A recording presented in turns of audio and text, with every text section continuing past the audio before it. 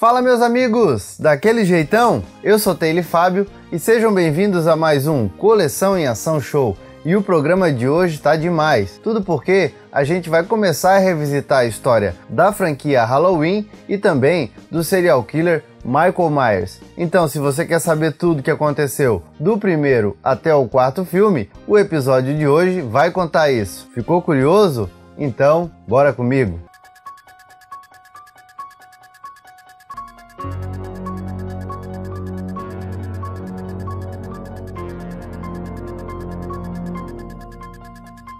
Mas antes, eu quero fazer uma perguntinha bem rápida para você. Já está inscrito aqui no canal? Ainda não? Então se inscreve aí. E também já deixa aquele like felpudo, porque só assim você vai ajudar a fortalecer o canal cada vez mais. Tá, eu sei que o Halloween já passou, mas eu não podia deixar de fazer esse programa, principalmente depois que eu fui no cinema assistir o novo Halloween, né, feito agora em 2018 pelo diretor David Green e com o retorno da Jimmy Lee Curtis interpretando a Larry Strode e também do Nick Castle voltando para o papel do Michael Myers. Tá demais esse filme. Eu não vou dar spoiler a respeito dele, porque eu quero que você vá no cinema assistir, porque ainda dá tempo, mas só vou dizer, o filme tá demais. A única coisa que eu posso dizer é o seguinte, para Laura Strode poder voltar e para eles poderem tirar um monte de baboseira que foi criada a respeito da série, né, porque ela é uma série bem longa, eles simplesmente desconsideraram todos os filmes que passaram depois do primeiro e é como se o primeiro filme tivesse acontecido e depois daquela primeira noite o Michael Myers simplesmente tivesse ficado preso por 40 anos e a Laura Strode ficasse aguardando o retorno dele. Então, mais uma vez, corre para o cinema porque tá muito bom. E já que a gente está falando da história, não tem como não começar por outro que não seja o primeiro filme de 1978, conhecido como Halloween a Noite do Terror, do jeito que foi lançado aqui no Brasil. O filme foi dirigido e escrito pelo mestre John Carpenter e produzido pela Deborah Hill. E tinha no elenco a Jamie Lee Curtis, bem novinha, né, interpretando a Laurie Strode, e o mestre Donald Pleasance, um dos maiores atores do, de filmes de terror e também de outros filmes, né? Foi conhecido por diversos filmes. O cara era demais e interpretava aqui o Dr. Loomis, que era um psiquiatra que cuidava do Michael Myers. O filme começava em 1973 no estado de Illinois, na cidade de Haddonfield, e mostrava a família Myers, uma família normal até então. Os pais tinham saído para festejar uma noite de Halloween e a filha mais velha ficou em casa cuidando do pequeno Michael.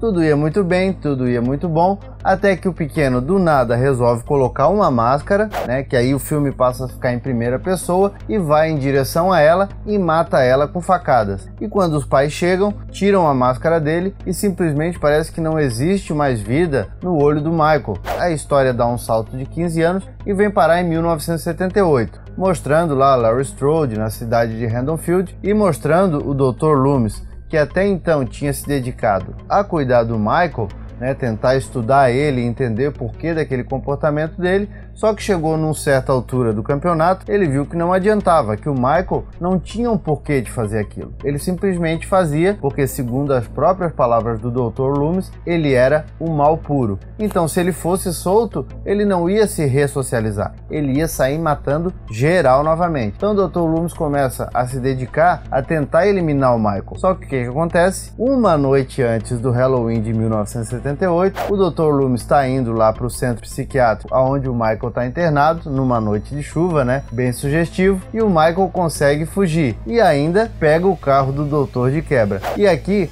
começa o primeiro furo de roteiro, o primeiro furo da história. Se ele foi preso com 6 anos de idade, como é que ele sabia dirigir um carro e dirigia bem? Porque ele conseguiu fugir, ele conseguiu rodar 200 km para chegar até Haddonfield e ainda usou o carro um bom período do filme para meio que stalkear suas vítimas. Bom, e no meio do caminho, o Michael consegue matar uma pessoa, né, um mecânico, e aí ele começa a fazer aquele figurino dele que ficaria clássico. Ele coloca o macacão azul e quando chega em Haddonfield, ele invade uma loja de fantasias pega uma máscara, coloca e, junto com uma faca, tá feito o visual clássico do Michael Myers. E aqui eu vou abrir um parêntese para falar para vocês de uma curiosidade muito legal. Sabiam que a máscara do Michael Myers foi feita a partir de uma máscara do Capitão Kirk, interpretado pelo William Shatner? Pois é, é que a produção do Halloween foi paupérrima, tinha muito pouca grana para fazer o filme. Aí o que, que os produtores fizeram? Eles queriam criar o visual do personagem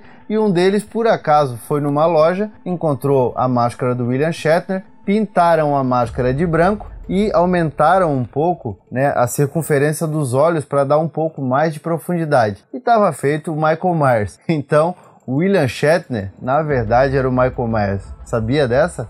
Bom, pessoal, e voltando ao filme, né? Vai se criando aquela tensão. O filme é suspense puro. O Michael aparece em algumas cenas, ele não fala, ele mal se expressa, né? No seu jeito de caminhar. E a Laura Strode, bem novinha ali, é uma babá, cuida de algumas crianças, tem alguns amigos que é aquele típico, né? Aqueles típicos adolescentes norte-americanos do final dos anos 70 e do começo dos anos 80, e o filme vai se construindo em torno disso, e o Dr. Loomis atrás do Michael Myers. E no final, né, aí sim é que vem a tensão toda, acontece a batalha entre o Dr. Loomis e o Michael e a Laura Strode no meio daquele problema todo, e o filme ele simplesmente ditou o tom para os novos filmes que viriam por toda a década de 80 e até um pedaço da década de 90, filmes de serial killer. Porque o filme tinha ali um cara que simplesmente não corria, não fazia nada, ele simplesmente caminhava atrás das vítimas dele como um caçador meio até que implacável, né? Não falava. E aí a gente tinha o Jason que fazia dessa forma. A gente teve até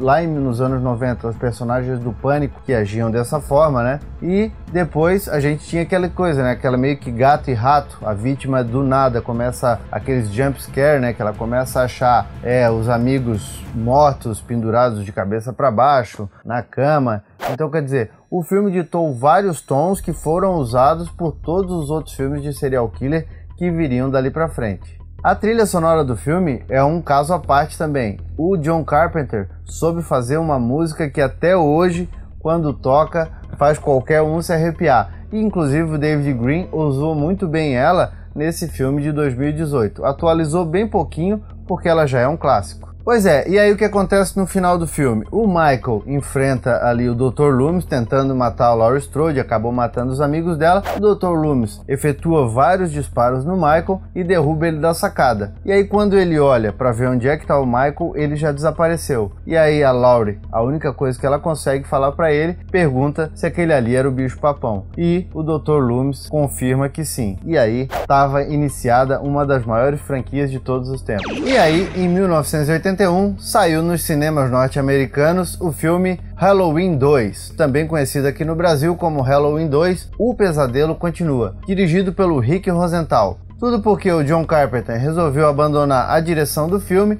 e ficar só com o roteiro e produzir o filme junto com a Deborah Hill. E aí o filme começa na mesma noite aonde o primeiro filme terminou, lá em 1978. Começa mostrando que o Michael sobreviveu aos seis disparos efetuados pelo Dr. Loomis, e aí aqui a gente começa a abrir um parêntese para contar a história. Porque o John Carpenter, simplesmente quando ele fez o primeiro filme, ele não estava pensando em continuação. E até ali, o Michael era o quê? Um personagem, um serial killer que não tinha nada de mortal. Ele deveria ter morrido com os seis disparos e ele deixou até o final em aberto. Só que aí, para poder dar uma continuação na história, eles começaram com essa coisa, né, que depois viraria modinha do serial killer morrer e voltar sempre no começo do outro filme. E aí o que acontece? A Laurie Strode, interpretada ainda pela Jamie Lee Curtis, é levada para o hospital e o Dr. Loomis, junto com o xerife, continua caçando o Michael Myers. E aí o Michael vai para o hospital atrás da Laurie Strode e começa a matar geral. Já que no primeiro filme ele tinha matado apenas quatro pessoas, aqui o plantel dele aumenta bastante. Ele vai matando um monte de gente atrás da Laurie Strode.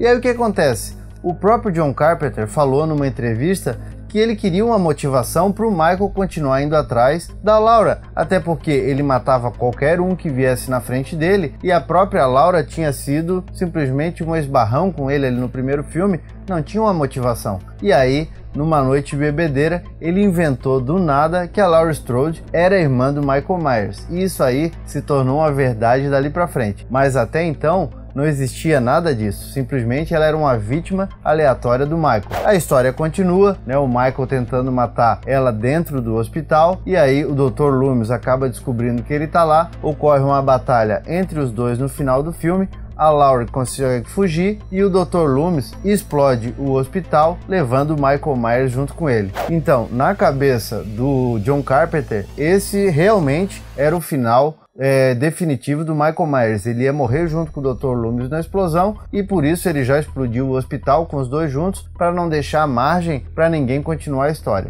E tanto isso era verdade que em 1983 ele teve a ideia de fazer um terceiro filme do Halloween chamado Halloween A Noite das Bruxas, como ficou conhecido aqui no Brasil, dirigido pelo Tommy Wallace. E o filme deveria ser o primeiro de uma antologia. Simplesmente o John Carpenter tinha a ideia, junto com a Deborah Hill, de abandonar a história do Michael Myers, já que tinha dado um final para ela, mas como os filmes Halloween, o 1 e o 2 tinham feito bastante sucesso no cinema, ele queria continuar com a marca. Todo dia 31 de outubro, lá nos Estados Unidos, sairia um filme novo contando uma história independente. E a primeira dessas histórias era Halloween 3, que contava a história de um doutor chamado Don Chadless, interpretado pelo Tom Atkins, que é um cara que simplesmente por estar em tela, né? Ele já faz o filme ser um sucesso, ele é um cara muito carismático, então chamaram o Tom, o Tom Atkins para fazer o Dan Shadless. E o Dan Shadless era aquele tipo de médico que eu acho que ninguém queria ser é, paciente dele. Não trocava de roupa, vivia bebendo,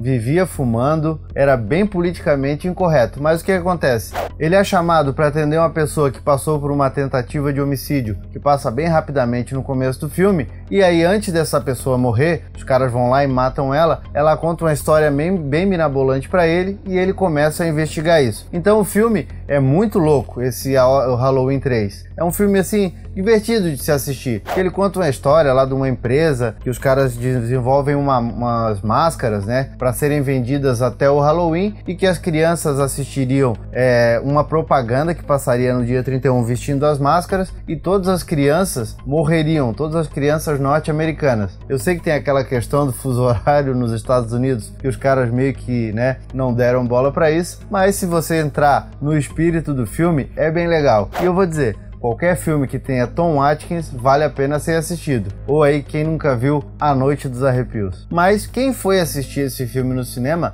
ficou indignado, porque em tempos que não se existia internet, né, as pessoas tinham pouca informação aos filmes, elas acabavam indo ver pelo cartaz que estava lá exposto no cinema. Então quando todo mundo entrou louco para assistir, né, o retorno do Michael Myers, o que aconteceu? Virou um filme que tinha uma máscara de abóbora, uma máscara de caveira e uma máscara de bruxa que ia matar as crianças no dia do Halloween. Ficou todo mundo indignado, né? Mandaram um monte de cartas para o estúdio xingando John Carpenter e o que aconteceu? Ele pulou fora do projeto e não quis mais se envolver com Halloween. E aí a franquia Halloween passou vários anos na gaveta, até que em 1988 o estúdio resolveu lucrar um pouquinho mais e trouxe Michael Myers de volta com o filme Halloween 4, o retorno de Michael Myers, já sem o John Carpenter na produção e também sem a Jimmy Lee Curtis, que ejetou do projeto junto com ele. E aí eles começam mostrando a história. Dez anos depois, o Michael sobreviveu àquela explosão do hospital, só que ele tá catatônico. E aí a gente descobre que a Laura Strode sobreviveu ao Michael Myers para morrer num acidente de trânsito idiota, mas não antes de ter uma filha chamada Jamie. E aí a menininha foi adotada por uma outra família, deram até um outro sobrenome para ela e ela tá ali com 9 anos de idade, né? Meio que traumatizada por ter perdido a mãe. E aí o filme também mostra que não foi só o Michael Myers que sobreviveu. O próprio Dr. Loomis também sobreviveu à explosão, voltando Donald Pleasence a interpretar o personagem, só com uma pequena cicatriz no rosto. Tudo bem, a gente aceita porque foi muito legal ver o doutor de volta. E aí o filme se desenrola quase como que os outros. O Michael foge durante uma transferência, vai para Field atrás da sobrinha, começa a matar geral tentando pegar ela e o Dr. Loomis atrás dele. E aí continua aquele jogo de gato e rato durante o filme todo, o Dr. Loomis atrás do Michael, o Michael tentando matar a menina, a polícia meio perdida no meio da história, vai morrendo gente, aquele rolo todo, né? Vai aumentando a contagem de corpos do Michael Myers, até que eles conseguem é, matar ele, jogando ele, dando um monte de disparos e jogando ele numa mina, né? Ele cai no fundo da mina, e aí a história do Michael Myers daria-se por encerrada. Tá tudo muito bem, tá tudo muito bom, levam a menininha para casa, e aí o filme tenta criar um plot twist meio desnecessário no final. A menininha, né, a Jimmy, que seria a sobrinha do Michael Myers, coloca uma máscara e esfaqueia a madrasta dela na, na banheira. Aí aparece o Dr. Loomis é, desesperado por ver aquela cena e o filme acaba daquele jeito, com a menininha vestida com uma roupa de palhaço, uma máscara e com uma faca toda ensanguentada. É que os produtores queriam dar um novo rumo para a série, transformando a Jimmy na nova, uma espécie de Michael Myers, digamos assim. Mas Halloween 4, dentro da cronologia ali e dentro da, dos filmes do Halloween, foi um bom filme e vale a pena ser assistido ainda. Então essa foi a história do Michael Myers, do Dr. Loomis e da família Strode, tudo que aconteceu do primeiro até o quarto episódio. Mas você acha que acabou? É claro que não a história estava chegando praticamente na metade. A gente ainda tem muitos filmes para contar e isso a gente vai falar a respeito no próximo programa. Então, se você ficou curioso, não perde o próximo, porque vai ser uma continuação direta desse aqui.